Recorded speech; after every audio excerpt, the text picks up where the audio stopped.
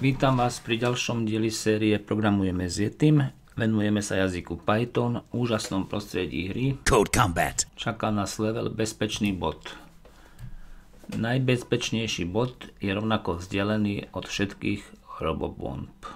To znamená, že musí byť v strede kružnice. Ciele dostaň sa ku vstupu do žalára. Vyzerá to, že nás obklúčili robobomby. Najmenší hluk a vyletíš do povetria. Musíš nájsť bezpečné miesto presne v strede robokružnice. Poznáme približnú polohu stredu. Preskúmame ju meter za metro.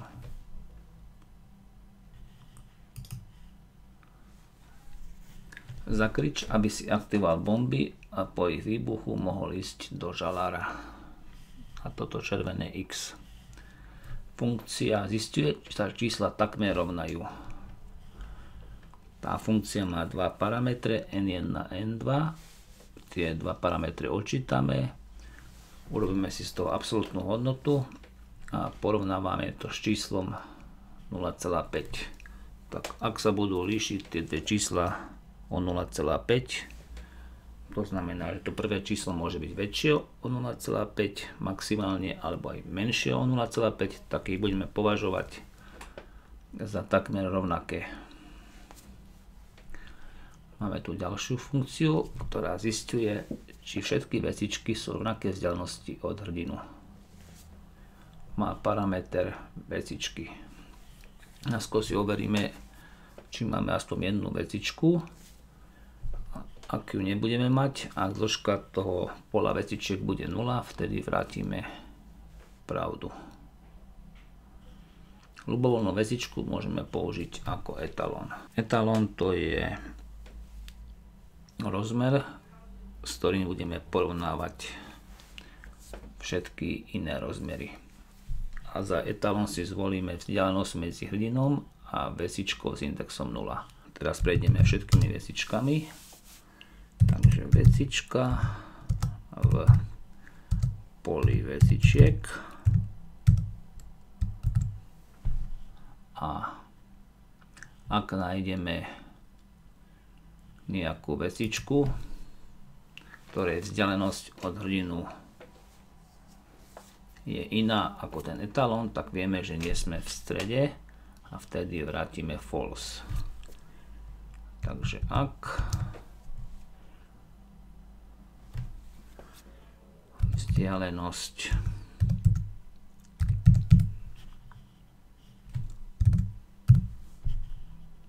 Som myslel, že sa objaví. Pomoc, neobjavila sa vzdialenosť medzi hrdinom a vecičkou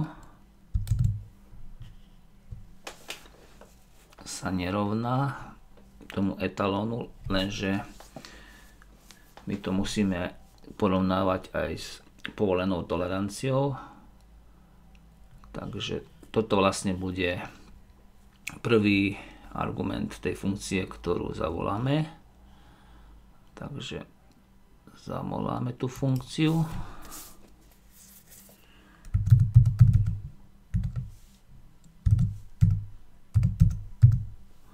A prvým argumentom bude teda vzdialenosť tej vecičke vzdialenosť medzi hrdinom a väzičkou a druhým bude ten etalón. A ak nám to nevráti pravdu tak my vrátime false. Že nie sme v strede lebo keby sme boli v strede tak táto funkcia by nám stále vracala pravdu. Ak bude funkcia takmer rovnaké neustále vnácať pravdu, tak aj my po skončení cyklu vrátime pravdu. Tu si nájdeme pole všetkých bomb, sú to naši nepriatelia a nebudeme prehľadávať celú plochu, ale iba slbce od 36 až po 45 a riadky od 30 až po 39. Presunieme sa vždy na zadanú pozíciu z toho, ako sú tie cykly uspodané, vyplýva, že sa budeme pohybovať po slobcoch. Najskôr začneme týmto slobcom, potom pôjdeme na druhý, na tretí a tak ďalej. Vždy si zavoláme túto funkciu, ktorá zistí, či vzdialenosť hrdinov ku všetkým bombám je rovnaká. Ak tá funkcia vráti stadiaľ to pravdu, tak hrdina povie hej a po výbuchu sa presunie na tento bod. Inak povie hrdina nič a jeho život ukončí výbuch tých robobomb.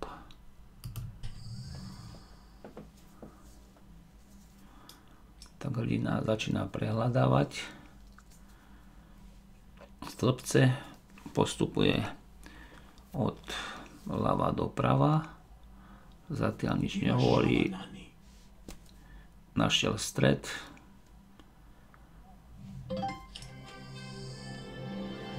A dostal sa ku vstupu do žalára.